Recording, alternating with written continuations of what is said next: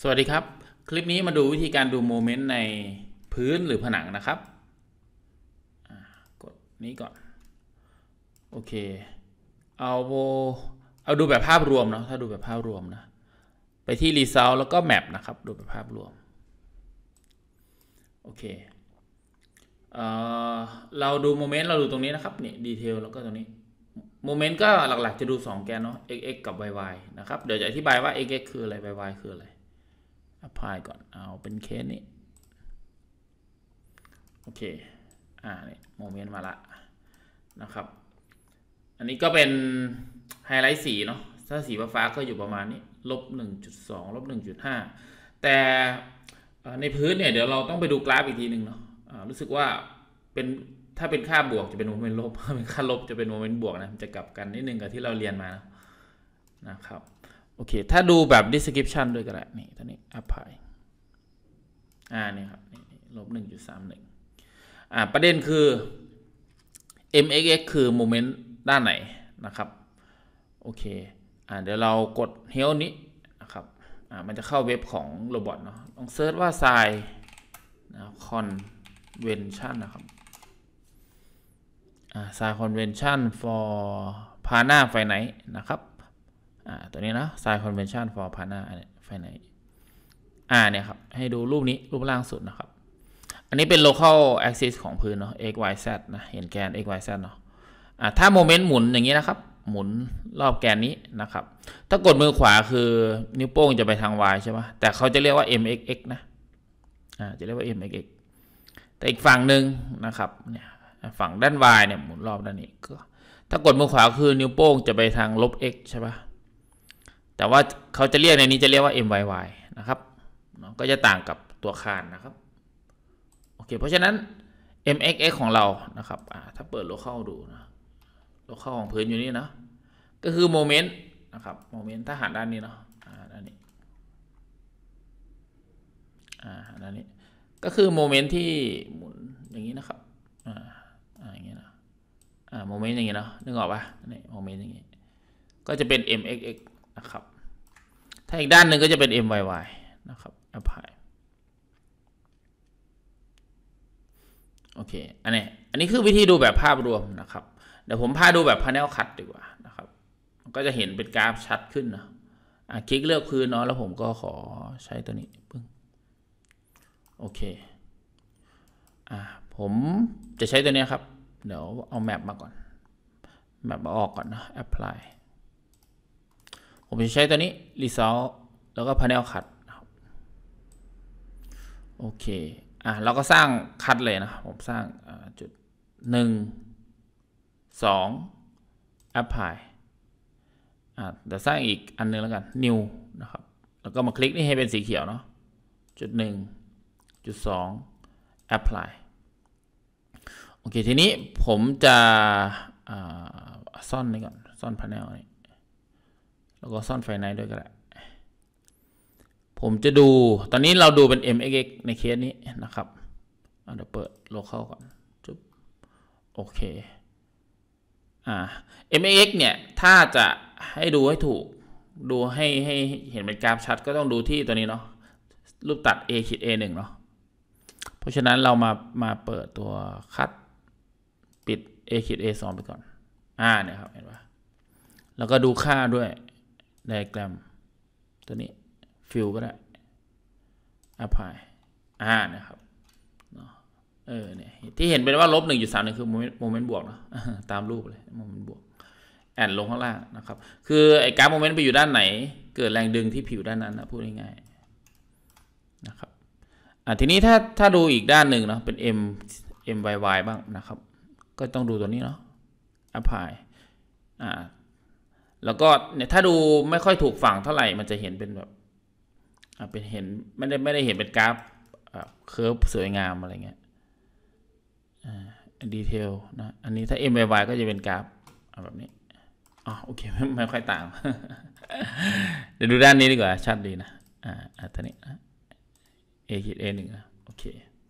อ่าถ้าดูไม่ถูกด้านมันจะเป็นกราฟมันจะเป็นอย่างเงี้ยมันจะเป็นตรงๆอะนึกออกปะ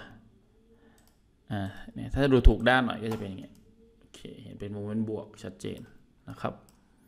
โอเคอะก็ประมาณนี้ในผนังเหมือนกันแหละในผนังลองดูผนังปุ๊บก็ตัวนี้เนาะปึ้งไหนขอดูโหลดหน่อยอะเป็น default ก่อน โหลดรู้สึกเราใส่วินใช่ไหมปุ๊บขอดูหน่อยปึ้งปึ้งโอเคเราใส่ wind ด้านนี้อ่า เดี๋ยวผมจะดูโมเมนต์แต่จริงๆก็ขึ้นอยู่กับว่าจุด support มันอยู่ตรงไหนบ้างนะถ้าดูจุด support มันจะมีเสาใช่ป่ะมีเสา มีคานด้านล่างเออคือจุด support สี่ด้านนั่นแหละจริงๆแล้วโอเคอะเลือกก่อนแล้วก็ปุ๊บ กด default นะครับเอาไฟในออก เอาตัวนี้ออก result panel cut new นะครับปุ๊บคลิกตัวนี้ให้เป็นอ่าอะอันนี้ถ้าเป็นผนังเนาะผนังเราจะตัดเอ่อที่แกนเพลนที่ใช้ตัดคือเพลนplane x นะขนานแกน x นะขนานแกน x คลิกแล้วก็คลิกหนึ่งคลิกสอง apply โอเค มาละอ่าทีนี้ก็ขึ้นอยู่กับว่าคุณอยากดูโมเมนต์รอบแกนไหนนะครับ ถ้าเป็นแรงมาด้านนี้นะเพราะผมอยากดูโมเมนต์รอบแกนสีเขียวก็ MYY นะครับปึ้งแล้วก็ดูกราฟเอา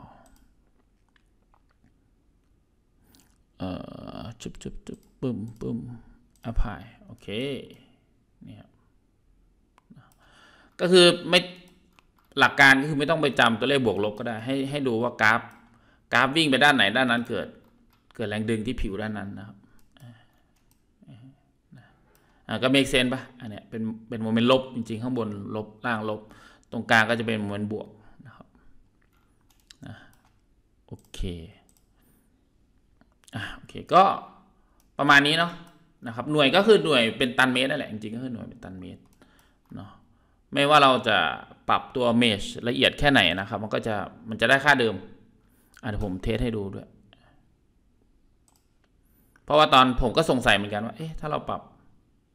ปรับเมชให้ละเอียดขึ้น มันจะเกี่ยวไหมนะครับ เกี่ยวไหม default ก็ปึ้ง โอเค ตอนนี้เมชมาสูจุดห้าเนาะ เดี๋ยวลองเล่นนิดหนึ่งอะ local mate delete แล้วก็ matching option ศูนย์จุดศูนย์จุดหนึ่งแล้วกัน แล้วก็ ให้สร้างใหม่เนาะตัวนี้จุ่ม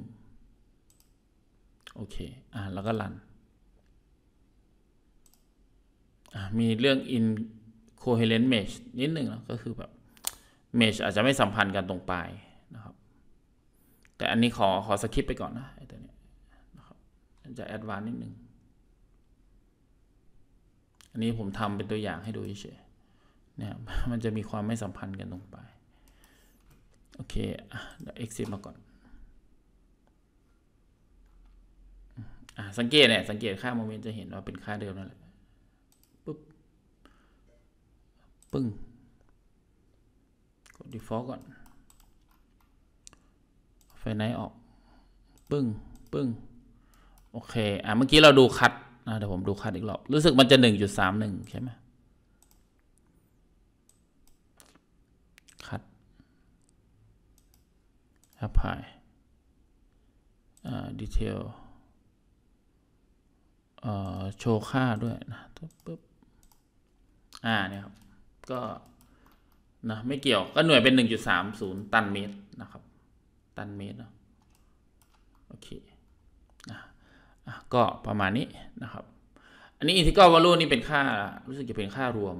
รวมในแต่ละจุด ก็ ก็ไม่ไม่ไม่เคยได้ใช้นะตัวเนี้ยไม่เคยได้ใช้ ก็อ่านค่าเอา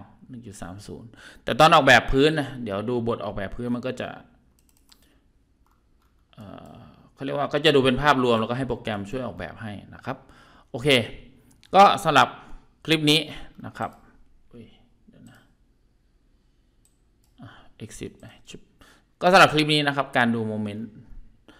ในพื้นแล้วก็ในผนังนะครับ ก็จบเท่านี้เนาะ อ่าเดี๋ยวผมแก้ขอแก้นิดนึง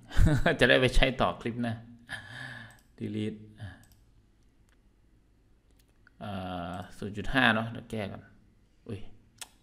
ไม่ delete ปึ้งศูนย์จุดห้าแล้วก็ปึ้ง โอเค อะเดี๋ยวรันใหม่ ให้แก้เมทชิ่งใหม่ อะ แฟนโทรตามไปกินข้าวแล้วครับ อ๋อ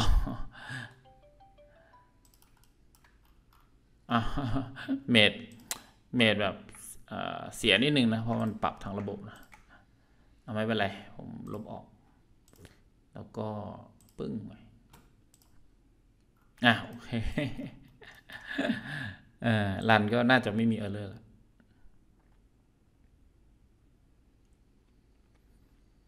โอเค เรียบร้อยนะครับ เจอกันคลิปหน้าครับ สวัสดีครับ